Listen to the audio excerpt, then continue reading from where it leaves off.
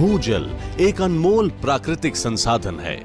माननीय प्रधानमंत्री जी की दूरदर्शिता और नेतृत्व में प्रधानमंत्री कृषि सिंचाई योजना, पर ड्रॉप, मोर क्रॉप, अटल भूजल योजना, नमामि गंगे, जल जीवन मिशन, जल शक्ति अभियान, कैच द रेन जैसे निरंतर प्रयासों के साथ आज देश में जल संरक्षण का विषय, जन आंदोलन और जन भागीदारी की उत्तम मिसाल बनकर उभरा है। इसी कड़ी में आज़ादी के अमृत महोत्सव के अवसर पर प्रधानमंत्री जी द्वारा प्रत्येक ज़िले में कम से कम 75 अमृत सरोवरों के निर्माण का संकल्प पानी बचाने की देश की मुहिम को नई दिशा देने वाला है।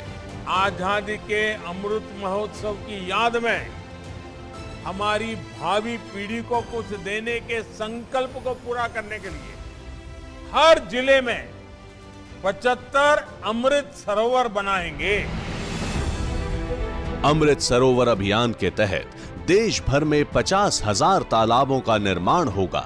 यह अमृत सरोवर कम से कम एक एकड़ भूमि पर होंगे तथा इनकी जल धारण क्षमता कम से कम दस हज़ार क्यूबिक मीटर होगी।